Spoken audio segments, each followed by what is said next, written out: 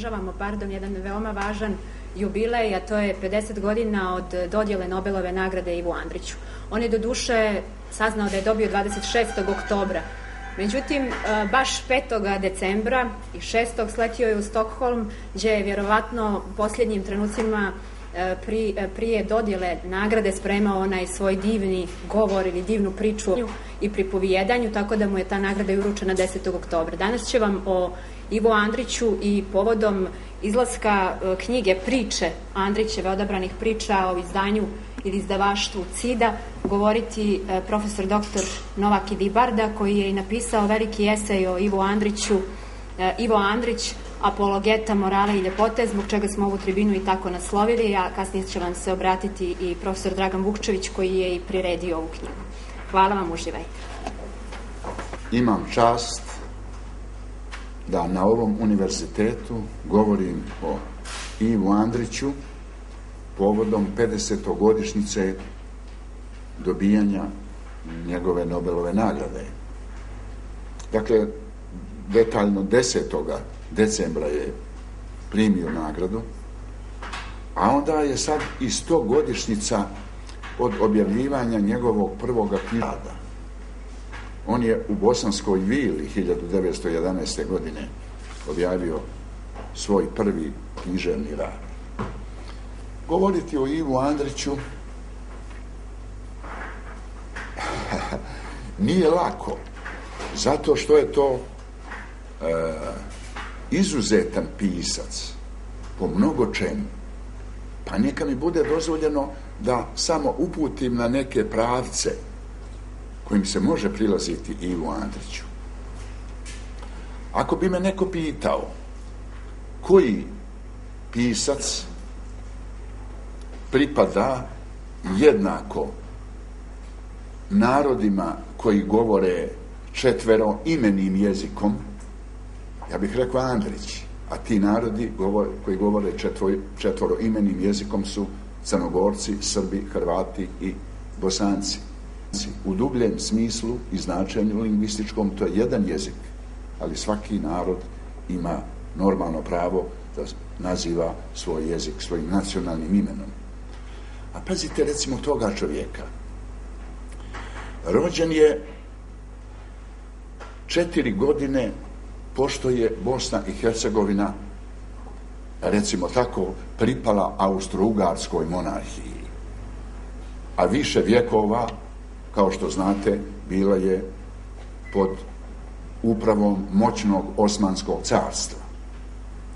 Onda će Andrić da se rodi u jednom docu, u jednom seocetu kod travnika, ostaće eh, odmah, tako reći, bez oca, majka ide u Sarajevo da bi živjela, da radi, radila je u jednoj tkaonici kao radnica, a sestra njegovog pokojnog oca živjela je grad udata za jednog austrijskog službeničića.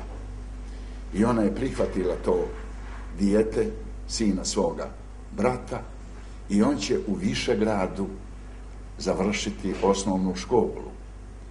On će kasnije jednom, kad je baš bio ambasador, e, kad je bio u diplomatskoj službi u Španiji, reći, E, kad je došao na sahranu tome svom učitelju, kako svega vijeka pamti sljedeće, kad ga je dovela tetka u školu, baš preko Ćuprije, ja sam bio profesor Višegradske gimnazije, pa znam svaki detalj tamo, kad ga je preko Ćuprije dovela u školu i taj učitelj ga je malo pomilovao po glavi, pitao kako se zoveš i pomilovao ga i kaže svega vijeka e, osjećam ljepotu od uke toga učitelja.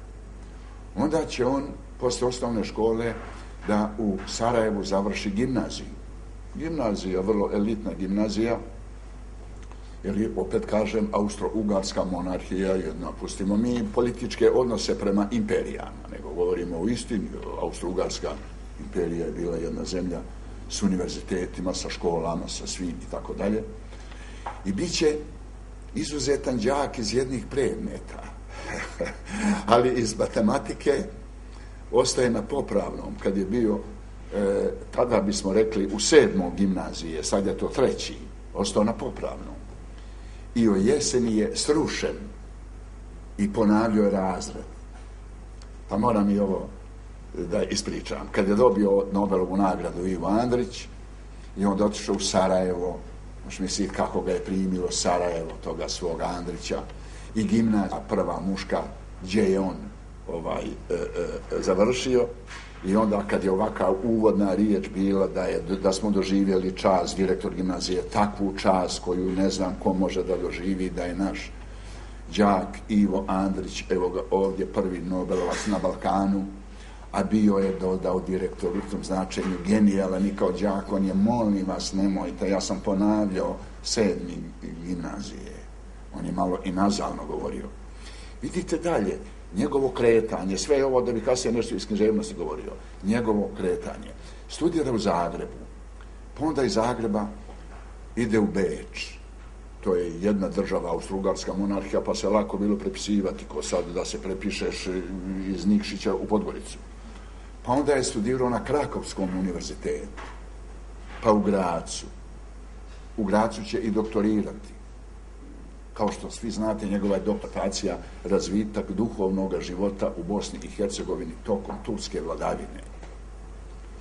Onda će taj Ivo Andrić, samo pazite gdje je sve bio diplomata, a to mi je potrebno zbog nekoga tumačenja.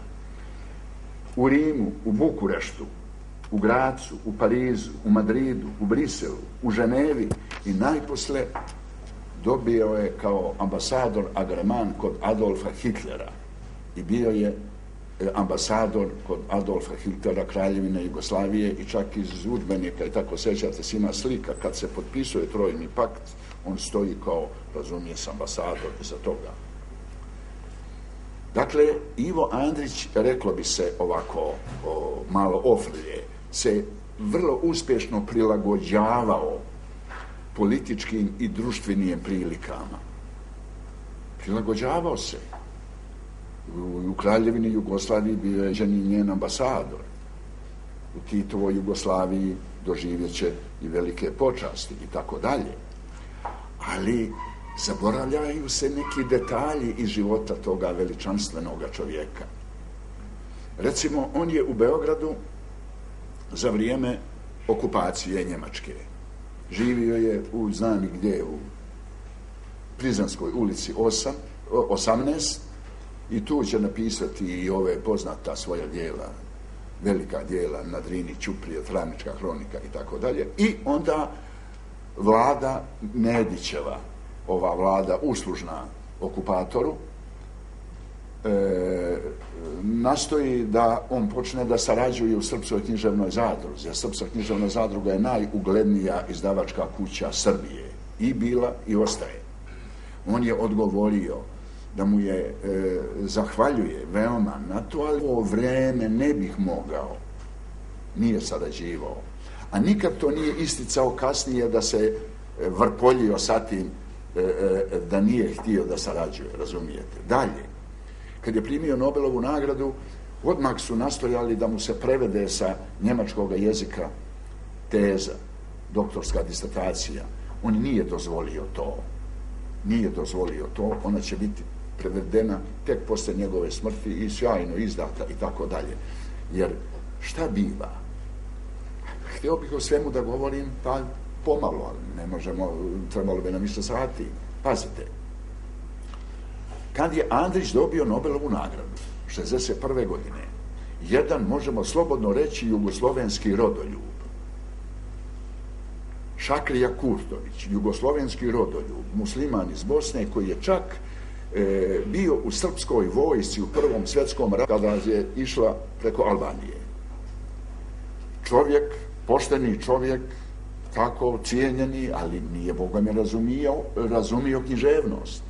I on će napisati u jednom časopisu bosanskih emigranata jedan rad gdje će e, pokušati da dokaže da je Ivo Andrić unizio bošnjake i njihov etnos i njihovu vjeru i da je unizitelj i da on ne zaslužuje ne Nobelovo nagradu, nego ne zaslužuje nikako poštovanje a najviše je govorio o onom e, e, lokalnom detalju nabijanja na kolac, svi se sjećate u ovaj romanu na Drini Ćuprija.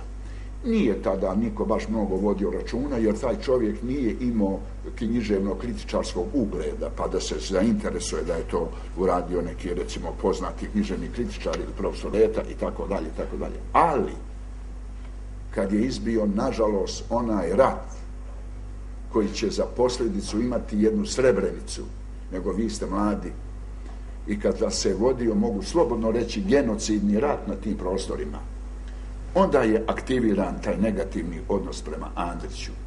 Nemojmo se mnogo čuditi što musliman u Bosni je doživio negativni odnos prema Andriću i počeo da hvali toga Kurtovića. Pa, nažalost, tada i jedan vrlo značajan naučnik, bio je, vr, bio je vrlo viđen naučnik, ovaj, je, napisao je jednu knjigu u tom značenju da je Andrić unizio bošnjački ovaj e, e, bošnjačku kulturu, bošnjački mentalitet i tako dalje. To je bio Muksin Rizvić, koga sam inače vrlo cijenio kao naučnika. E sad malo da vam objasnim. Nego hoću o svačem pomalo da pričam, pa se ne završim. Vidite nešto. Ivo će Andrić dati poznate izjave da je najviše izrastao iz Vuka Karadžića i iz narodne priče i legende. I ko zna njegovo književno dijelo, vjerujte, zaključi da je to potpuna istina. Ovi koji su ga napadali da je unizio bošnjake, najviše su uzimali u obzir njegovu pripovjetku put Alije Đerzeleza. A inače desilo se jedno neobično čudo u svetskoj literaturi. To je prva pripovjetka njegova, napisana 1000, objavljena 1920. godine put Alije Đerzeleza prva, a nije je Boga mi nikad prevazišao. Ne znam pisa u istoriji svjetske književnosti koji nema razvoj. On kao prozni pisac, vjerujte, nikakva antologija Andrićeve ne može se, ne može biti realna ako u njoj nema pripovjetke put Alije Đezeleza. E sad čujte. Šta sve neznaveni ljudi ili politički naopako opredjeljeni ljudi rade unizio bošnjake zato što je onako prikazao Aliju Đezeleza. Prvo, kritička istorija, vjerujte, ne zna ništa suštinsko o tome Aliji Đerzelezu. Najrealnija je pretpostavka da je to bio Gerz Ilijaz iz druge polovine 15. vijeka, negdje, neđe iz Skop, Skop, e, Skopskog krajišta, Akinđija, bio je istaknuti tako ratnik i dato mu je neko bolje imanje negde u Zeničkom kraju. To je jedna najrealnija pretpostavka ko je bio taj Alija Đezelez. Taj Ali, kritička istorija o njemu ne zna ništa. E, šta biva? Šta radi Ivo Andrić? Ivo Andrić, toga najvećega junaka bošnjačke usmene epike, prikazuje, malo da vas samo podsjetim, kao je dojašao je u Višegrad, tu je noćio u Saraju Mehme Paše Sokolovića, jel te, junak, čim je sišao sa hata, odmah se vidjelo da nije ono što se zamišlja, niti mu baš noge su visoke i tako dalje, i tu neki mangupi, neki ljudi, hajde da s njim, s njim nabiju, e, moram narodnu riječ upotrebiti, šprdnju, urade ovo. Desila se tu noćila latinka, jedna lijepa latinka i onda njemu oko otišlo na tu latinku. I srede, oni moram da skraćujem, da trče. Pa ko prvi dotrči do toga cilja koji je određen, ima šanse da se primakne latinci. Urede to, on strči, a oni samo ovako, kad se ono kreno i ocijenio kakvu bruku s njim prave, onda je on otišao, pojašao svoga hata i ona ima, vjeruje se u Višegradu, od kopita njegovog hata vide se e, ovaj e, e, e, ulupine na obali Drine. I on će takav da ide, nego moram da skrati. I znate gdje će završiti? U krevetu jedne prostitutke u Sarajevu. E sad, oni su rekli, takvoga veličanstvenoga junaka prikazati To je uniženje jednoga naroda, uniženje njegove vjere, uniženje svega. E sad čujte me malo. Nego opet kažem, nažalost, nemamo vremena. Čujte me. 1555. godine Petar Hektorović sa Hvara, jedan izuzetno vreme izgrađeni intelektualac, zapisao je pjesmu, opet ponavljam, 1555. godine zapisao je pjesmu Bugaršticu Marko Kraljević i Brajan mu Andrijaš. I to zapisao je od jednoga seljaka, od jednog ribara koji se zvao Pasko je Debelja, nje, bio u najmu njegovom. Ja imam rad o tome, on je najvjerovatnije iz ovih krajeva, ovih naših krajeva, taj Pasko je Debelja, jer su ono Turci 482. treće osvojili Herceg Novi i, i Lisan i onda je dosta ljudi otišlo na, na venecijanske teritorije i tako dalje. I tu sjajnu bugašticu, jednu od najlirskijih pjesama koji je dao naš jezik, Tada je zapisao Hetorović i objavio u svom dijelu ribanje i ribarsko prigovaranje. E da vidite kakav je Marko tamo. Ona opisuje ovo, moram da je malo prepričam. I njegov brat Andrijaš išli su kao dva junaka i uplijenili su tri hata. Lako su se e, složili oko dva hata, kome će pripasti jedan, kome drugi, ali oko trećega hata se nijesu mogli složiti. A Marko potegne, potegne sablju i u srce svoga brata udara. Brat And, Andrija moli ga, brate Marko, nemoj mi vaditi, prepričavam, ne, ali vas da je poezija e, uništena kad se prepričava. Nemoj mi vaditi iz srca E, e, e, sablju dok ti ne kažem ovo. Nemoj majci kazati da si me ubio. Nego joj reci da sam zaljubljen u, u jednom kraju, našao sam ljepoticu, djevojku i ne mogu da je ostavim koliko sam u nju zaljubljen. Razumiješ se? Te pita što ti je krvav uh, uh, mač, sad ne znam sablja ili mač. E pa jednoga jelena sam na velikoga na putu srio i udario sam toga jelena i tako dalje. E sad možete misliti kakva plemenitost od toga brata i koliko bi se to dalo tumačiti, a kakav Marko. Naš najveći pjesnik koji je ikad stvarao na ovom jeziku jeste starac Milija. I on u svojoj pjesmi Sestra Leke kapetana ima Marka koji će jednoj djevojci izvaditi oba oka i ošeći joj ruku. Razumijete? Što će reći da je, kao i svi veliki pisci čovječanstva, Ma, e, Ivo Adrić pravio likove duboko se oslanjajući na ono što sam priznaje iz čega je izrastao iz narodne priče, iz narodne legende. Još ću detalj dva. Pazite, molim vas, sjetite se u, na, u, u romanu Nadrinić Uprija ima jedan za mene to nije su romani, to su uh, sve pripovjetke, ali samo imaju malo nervnog sistema romana. I ima tamo o starini Novak, u mom imenjaku. Hoću samo da kažem kako je izrastao da bih rekao ova nepravda koja se pokazala prema Andriću. I tamo se ponaša starina Novak ovako, ostarao, onemoćao i uči svoga sina Grujicu. Kako da se ponaša kad čeka u busiji neku pljenitbu? Kaže Grujica, kad si u busiji, pa kad vidiš jednoga da jaše konja nabusito svojim rečnikom, govori odjevenoga i, i, i, i, i, i dobro opremljenoga udri, to je fočak. Pun je on. Kad vidiš veli jednoga da je na konju noge prekrstio, udara u saz i pjeva pusti neka prođe, to je viša građaninu, njim, njima se pare, e, e, kod njih se para ne drži. A kad vidiš ne jednoga koji se je povio po kljusetu, izgleda veoma bijedno udri, to je roga tičanin, pune su mu bisage. Sad pazite.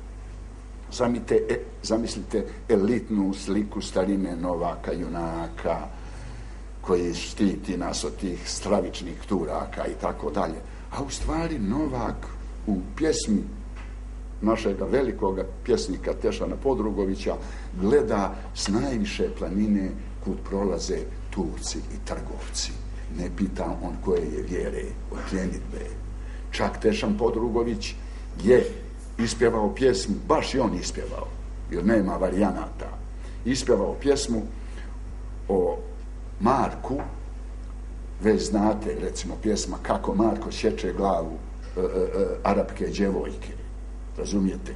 To je jedan junak, to je jedan junak beskrajni, a veliki umjetnici ulaze pod oklop te forme njegovog života i nalaze jednoga dubokoga nesrećenika. Razumijete? I Ivo Andrić izrasta iz takvoga i iz takvoga miljeja duhovne prošlosti naroda koji govore jednim jezikom i stvara svoje likove. Idemo dalje. Kad bi me neko obavezao da izdvojim e, likove veličanstvenih žena, kad kažem žena, ne, ne mislim djevojka udata, nego žena, kad bi me od Antigone pa dalje, Boga bi visoko bi mi mjesto imala Fata Avdagina. Fata Avdagina, sjećate li se, čitali ste ona što skače s mosta u Drinu. Možete misliti kakav je to jedan od najveličanstvenijih likova. Čerka izuzetno uglednog oca. I uglednog oca. I taj otac hoće da udaje tu svoju šćer za jednog uglednog momka koga ona ne voli. I ona se je našla između dvije velike nevolje. Da se udaje za momka koga ne voli a mora da posluša oca.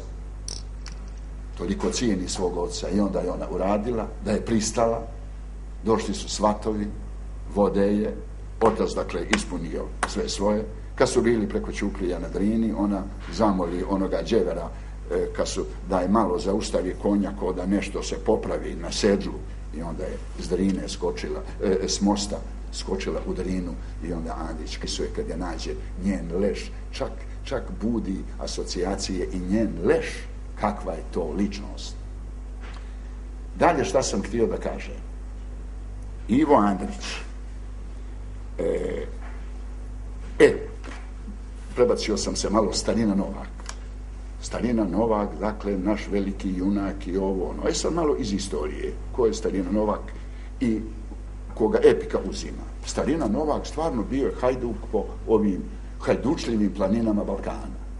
A kasnije bit će u vojsci hrišćanskog kneza, viteza, e e, e, e, e, vlada, rumunskoga, što bismo rekli današnjega, do, doće do nivoa generala, našim rečnikom kazano.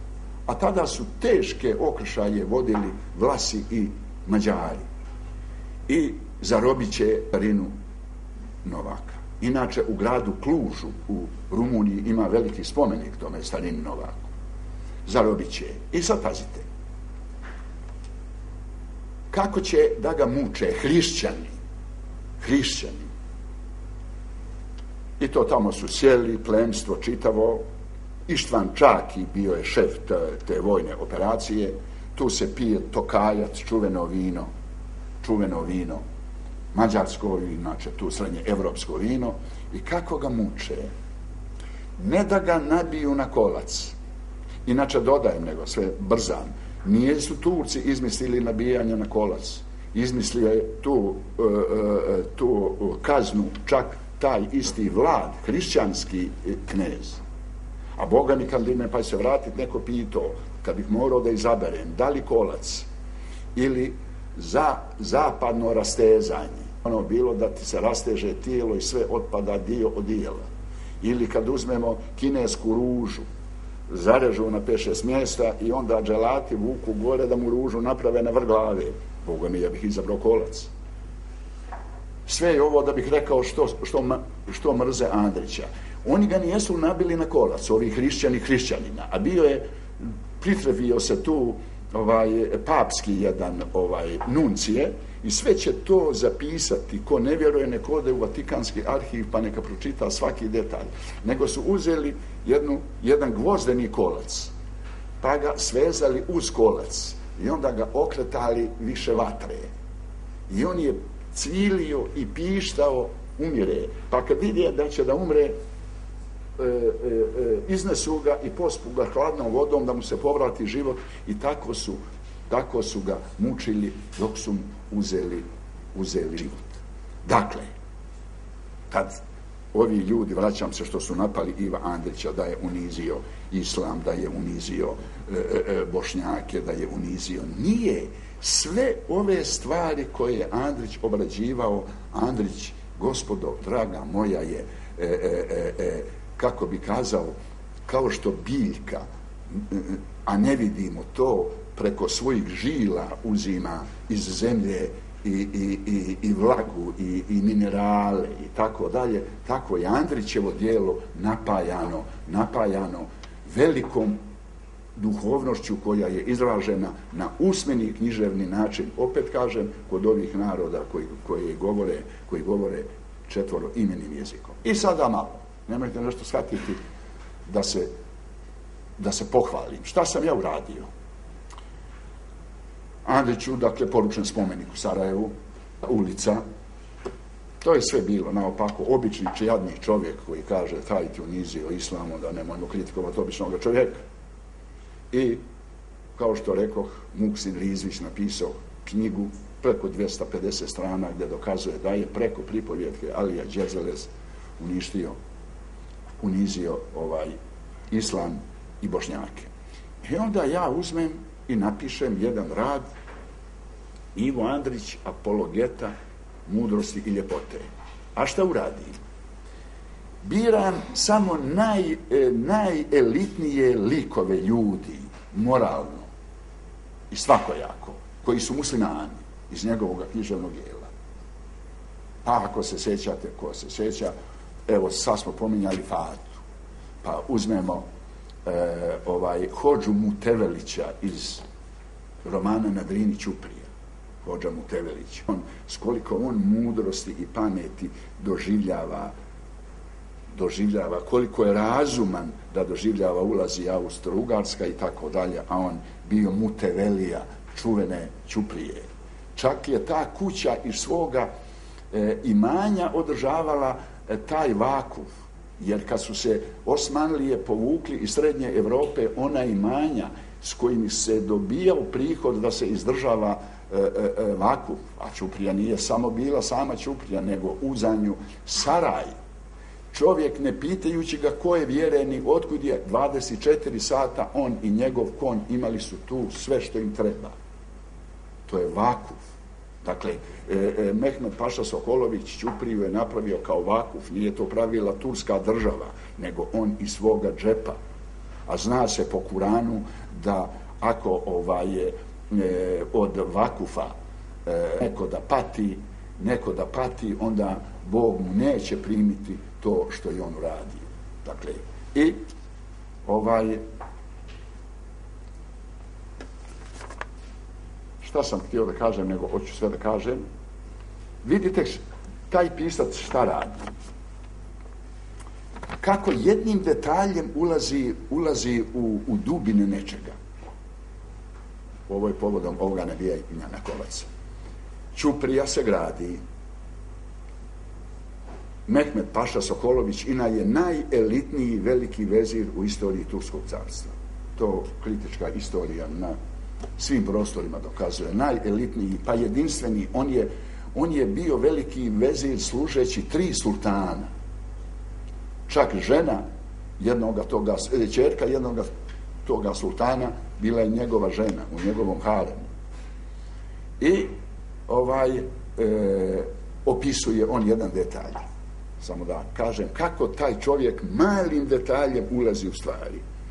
I Mehmet Paša Sokolović, kako to Andrić opisuje, odredio je jednog abidagu, jednog višega činovnika i odredio ga da rukovodi radom na Ćupriji. A Boga mi i danas ovom tehnikom da se radi ta Ćuprija bilo bi veoma teško. Međutim, on se potrefio pokvaren čovjek, e, velika, e, velika neobičnost, pokvaren službenik pa je umjesto da plaća parama koje je dao veliki vezir, on je pokupio mesečne ljude da kuluče. I pokupio je kulučare, što bismo rekli, kanđijom, i ti kulučari rade na Ćupriji. I crnogorac išao nekud i uhvate i njega pa ga dovedu. I taj crnogorac odmah je počeo da govori da on ne može da podnese to. Odmah znate kako daje sliku ovo crnogorca koji ne može onda podnese ovo što drugi mogu da podnesu. I noć, noć, šta biva? Vatra neka nesečna gori koju lože oni da suše svoje obojke, da suše svoje, svoje jadno tijelo izmučeno tamo, a crnogorac vadi iz svoga gunja neke male gusle i pjeva. Jedan izađe stražar da sluša i pjeva tamo i to koju pjesmu Dušan hoće sestru da uzme. Samo ću vama pomenuti jedan stih. Onda se svi oni zbijaju, zbijaju, zaboravljaju na tu muku svoju, a šta se događa? Sjedi car, tu su patci, tu su vladike, pazite, tu se pije rumenika vino, a svijetli sestra Kandosija sa njedara dragijem kamenjem. Čak je toliko lijepa, ali je Andrić izbjegao dalje da tu pjesmu navodi, da pita one vladike i, i, i, i, i uzeo bih je za sestru. I oni mu Bogom kažu, dobro je to. Mjerite kakvu je sliku dao e, e, e klerikalstva kroz sve vjekove. Ne znam, Boga mi pisa u svetskoj književnosti, da je sa e, e, e, detaljim govorio o dubokim istinama. I pjeva ovaj, a oni se svi tu ovaj, jeli? E, vraćamo se na to nabijanje na kolac. I taj pokvareni činovnik, pokvareni činovnik, kažnjava, dakle, da bi, da bi imao više tih kulučara i Andrić opisuje kako se nabija na kolac.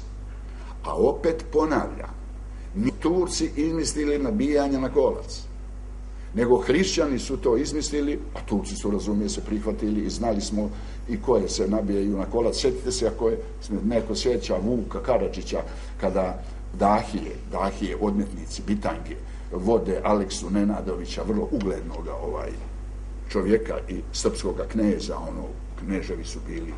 Pa sjeti, sjetite se pjesme tu, kneževi ni, nisu radikalci, I vodi ga preko Ćuprije, ove tamo kod Valjeva, i govori mu, slušaj veli nešto, Dahi, nemoj slučajno da se prevariš, da me drugčije kako ubiješ no sabljom, to ja zaslužujem. I posluša ga Boga mi ovaj e, e, Dahija i osjeća mu glavu.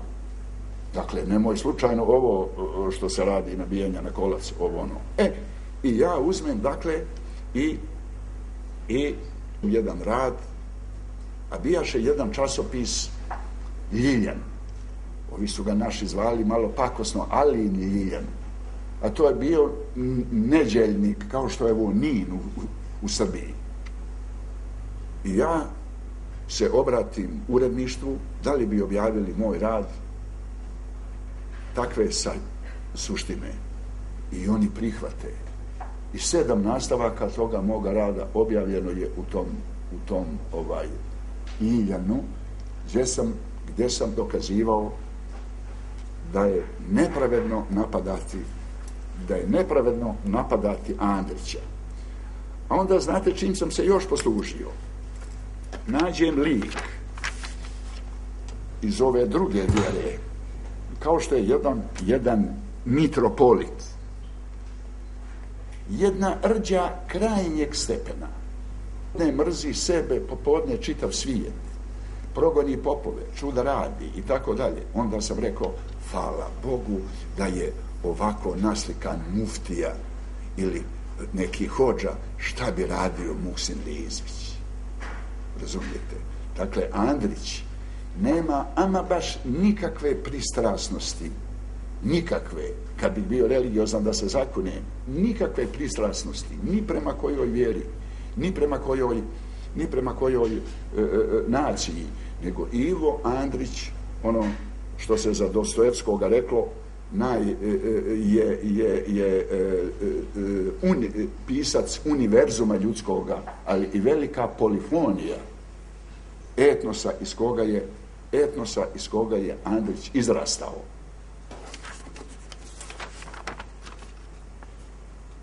Vidite u čemu je još on čudan. Čudan. Recimo, njegova pripovjetka Most na žepi. Most na žepi. Jedno, ja mislim, šest i po stranica normalnog teksta. Tu bi jedva pet.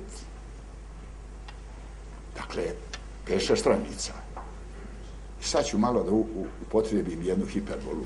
Boga mi je samom tom pripovjetkom zaslužio da dobije Nobelovu nagradu.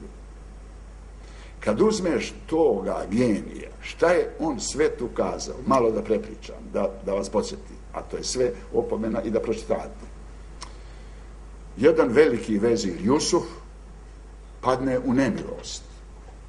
Pošto se to u politici događa? Padne u nemilost i čitavu jednu zimu bio između smrti i života. Dok se to istraživalo, je li kriv, nije li kriv, pa evo, naši političari danas, da li onaj e, razgovarao sa ovim ili nije. I tako dalje. I desi se s proljeća neđe da je utvrđeno da nije kriv. Veliki vezir Jusuf. Onda veliki vezir Jusuf se sjeća mjesta iz koga potiče. To je jedno neplodno mjesto. Mala rečica žepa kako su mu i kazali, i džamija je toliko postarala da skoro je nikakva. Ljudi siromašni. I šta bi najbolje bilo da im pomogne tamo i seti son da im se napravi most. I odredi on jednoga majstora, italijana, italijan se pritrefio, majstor veliki u Istanbulu i pošalje ga tamo, razumije se, to se gradi Vakuf, opet pominjem morate praviti razliku između vakuf i vakif. Vakif je onaj koji pakuf, a vakup je ono što se e, iz svoga džepa e, e, e, e ostvaruje za ljudsku korist. Ponavljam opet, u, u most, u, u Saraju, sve što Andrić opisuje tačno, u Saraju, te sjajni Saraj bio, tega je porušila e, Austrija, strani Saraj bio, 24 sata je čovjek imao spavanje, hranu, sve što treba. A onda je bilo u svim gradovima imaret, takozvani imaret, gdje može, kako bi to naši ljudi rekli, da dobije džabe, kutlaču, e, e, e, čorbe i pače kljeba. Idemo, vraćamo se na most na žepi. I pošalje toga italijana. Taj italijan će biti jednu zimu tamo kad ne može da se radi u nekoj baračici koju je on napravio, Samo je jedan Rom, jedan ciganin je dolazio da mu nešto donosi, da ga obslužuje i on je stan crtao, čak i kad pada kiša izlazio bi na žepu i tako dalje. Onda su oni ljudi čudili šta, ko je to, šta je to, ne može se napraviti ništa tu. I da skraćujem, kad je počelo da se gradi, a žepa je mala, dolazio sam. Onda kad je most bio gotov, Andrić kaže, prepričavam ga, kao da su dva mlaza vode šinula s dvije strane pa se sastavili. To je samo jedan luk. Jedan luk. Kad se je to završilo, ovaj e, e, majstor, tako, tako ga nazovimo, majstor, vraća se za Carigrad, vraća se za Istanbul, a bio je primio samo jednu četvrtinu od plate koja mu je bila određena. I ide od Višegrada za Carigrad i negdje na putu razboli se od kuge, dođe grad, ode u bolnicu, e, e, fratarsku bolnicu, sve su to detalji, vidite, fratarska bolnica, dakle, u Istanbulu za vrijeme moćne turske carevine Mehmet Paše Sokolovića, fratri imaju svoju bolnicu. I on umre u toj bolnici da bi Jusuf, veliki vezir, one osta, ostale su tri, ono, rekao smo, jedna četvrtina je bila data ovome bezimenome majstoru, a one tri četvrtine ovako je podijelio.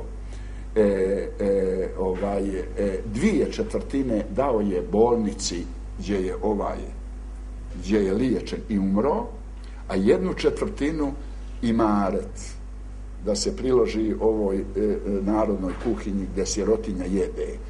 Dakle, to je veliki vezir Jusuf. Ovo sve odgovaram onima, posebno ovome mlađem ovdje, da ne nasijeda na priče kada političari ili neznaveni ljudi osuđuju nekoga književnika. Uđi ti u njegovo dijelo. Ivo Andrić je e, e, e, e, e, e, e, izrastao, opet rekoh, iz duha ovih naroda koje je jednako poznavao i svaki njegov detalj je veličanstvena istina. I Boga mi sad kad bi nekome e, e, e, e, odredio da nabrojim najznačajnije istine iz istorije naših naroda i vjera i tako dalje. Ne znam da li bih mogao neđe tako sjajnije iskazane naći nego u književnom dijelu Iva Andrića. I da završim. Ima velikih stvaralaca, kao što je Njegoš. Njegoš je najveći stvaralac koga je tako dala Crna Gora, svaki narod ima ima jedan pjes, smatram da je jači pjesnik od Njegoš, ali to niko ne vjeruje meni, ostaje to tako starac Milija, ali Njegoš, kad čitate, Njegoš je e, bio u jednom veoma teškom vremenu, vladika i gospodar Crne Gore, e, vrlo opasne paše i veziri. To je Tursko carstvo bilo u priličnom rasipanju. Nije to bilo doba e, e, Mehmeda El Fatiha ili Sulejmana veličanstvenoga, nego što bi naš narod rekao, bistra nam voda izvire u, u Stambolu, a mi je mutnu pijemo. I njegoš je htio da nalije e, crnogorsku svijest slobodarskom borbom, slobodarskom borbom, jer je trebalo još su de, de jure pripadali Osmanskoj carevini. I zato je gorski vijenac naliven anti-islamizmom i antiturstvom. Čak je nema ni jednog dijela u svetskoj literaturi koje je naliveno anti-islamizmom kao njegoš. A Boga mi je njegoš znao koji znači, bio prilično obrazovan da se u jednoj Persiji, recimo, da ne, ne idemo dalje, bio na toliko vjekova ranije ostvario u poeziji, u arhitekturi i tako dalje. Uzmemo našu džamiju Husein Pašinu u, u, u, u, u, u džemima, pa vidimo samo to je jedna od najljepših džamija na Balkanu i tako dalje. Što će reći, dakle, i taj veličanstveni njegoš je imao tako se je ponašao jer nije mogao drugčije da se ponaša kao čovjek koji rukovodi, a veliki umjetnici, i sad ću da završim, kao što je jedan starac Milija, kao što je ovaj koji je saopštio Petru Hektoroviću, Bugaršticu, Marko Kraljević i brat mu Andrijaš, kao što je Tešan Podrugović. Tu su, to su veličanstveni stvaravci koji su dali duboke istine o našijem prostorima i univerzalne istine o čovjeku. Eto vidim, dekan već gleda nas. Moram da završim. Hvala vam što ste me slušali.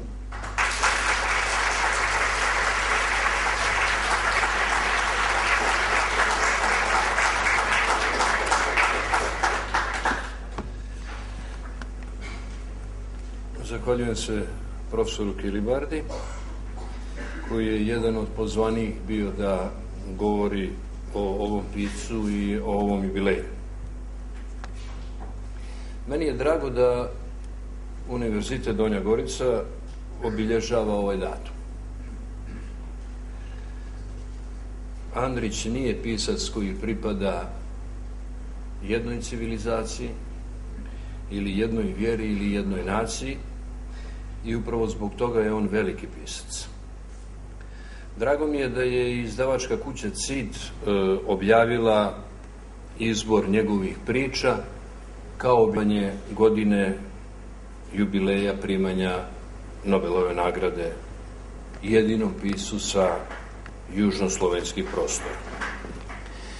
Ali ta knjiga je objavljena u biblioteci koja nosi naslov CID po izdavačkoj kući, A neće vam biti neinteresantno ako vam kažem kako je došlo do ideje o formiranju ove biblioteke. Bio je to početak 90. godina jedno od onih e, doba kada države počinju da mijenjaju svoje granice i u onom prostoru između realne granice jedne države i jednog imaginarnog prostora zamišljenih granica dešavaju se prilično tragične sudbine mnogih ljudi. Bilo je otprilike pozna jesen. I bila je jedna strahovito kišna noć,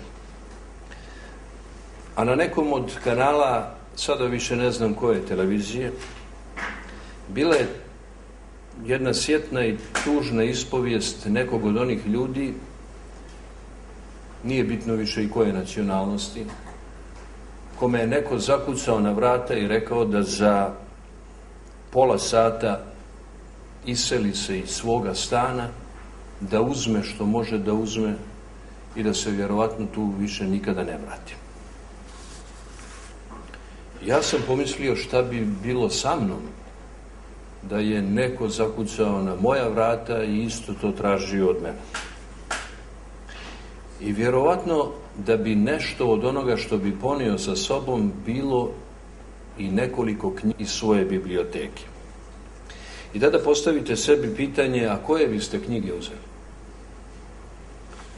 I nastala ideja biblioteke koja sadrži najveće pisce svjetske književnosti, koja je počela sa Danteovom božanstvenom komedijom, a za sada posljednja objavljena u ovoj knjizi jeste knjiga Andrićeve priče.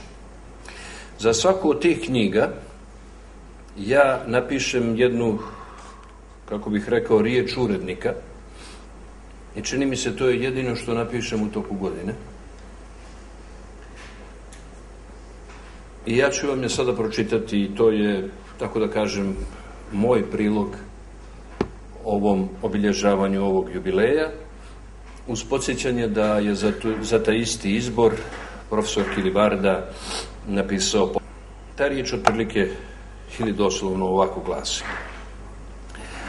sve se pretvori u svoju suprotnost ako ima vremena bivaju trenuci kada se to može sagledati i postoje ljudi koji to umiju da vide Jedan od njih je i tvorac najotmenije rečenice sa slovenskog juga. A ušao je neželjen u ovaj svijet.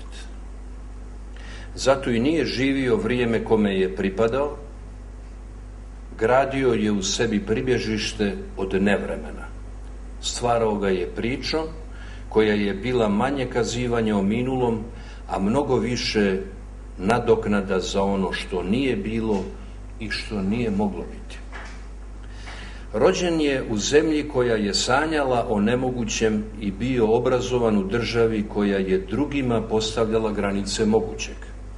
Rano mu je postala jasna tragičnost prvog i uzaludnost ovog drugog. Iz tuge tamnog vilajeta Bosne kapalo je mastilo u pero koje mu je poput dara ili prokledstva dato na kapiji života po hartiji vremena ispisivao je tužnu hroniku jednoga doba i tragičnu sudbinu čovjeka u njemu. Nije čudo da su ga u tom izlomljenom svijetu mostovi općinjavali.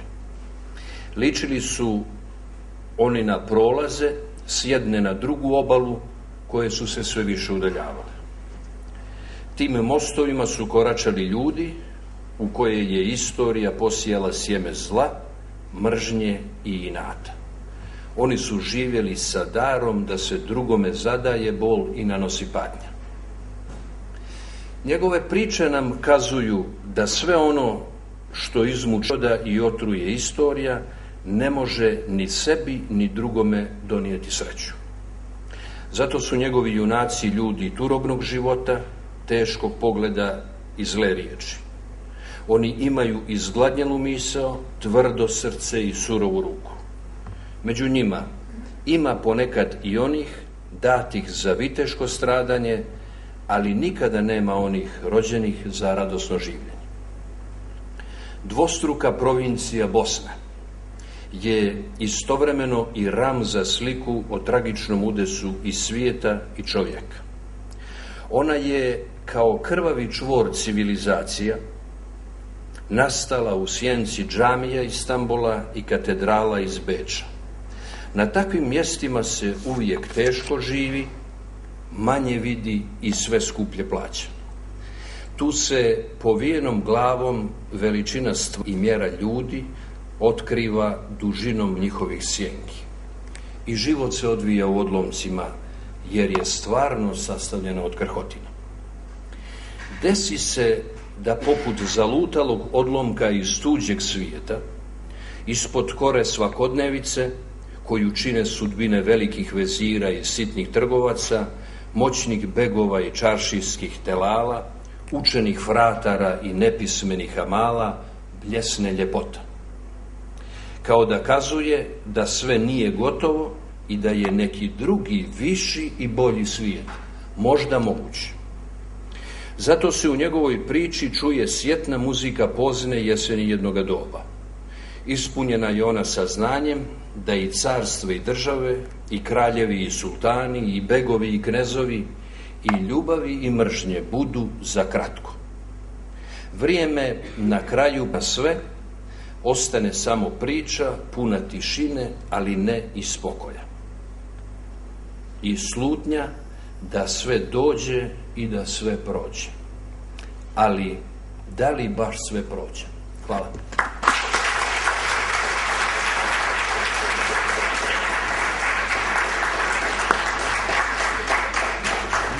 Nešto, sam zaboravio da vam rečem. Šta sam sve zaboravio, nego samo jedan detalj. Kakav je interesantan život toga čovjeka, ali u mladom svijetu, ću da kažem. Bio je zaljubljen u jednu ljepoticu Milicu Babić. Ona nije htjela da odgovori na njegovu ljubav. Onda se udala, bila je čuveni kostimograf u Narodnom pozorištu, udala se, i sad ja ne znam tačno kolike decenije je bila u tom braku, ostala je udovica i onda se udala za Andrića. I jedan detalj, s njim kad je dobio Nobelovu nagradu da primi. I jedan detalj, u Herceg Novom je živio i umrla je u Herceg Novom i bila izložena u kući njegovoj nje, ona. Ljudi su dolazili danju, onda je zamolio uveče da ga ostave samoga da niko ne bude s njim. I tu je veče sam bio sa mrtvom ovaj milicom, koju je čekao toliko decenija. Eto, govorim samo jedan detalj koji upotpunjuje tu tu ovaj lič, ličnost. Znao bih ja i neke druge detalje sa, njegovo, e, sa njegove erotske staze, ali to ćemo neđe u kafani da pričamo.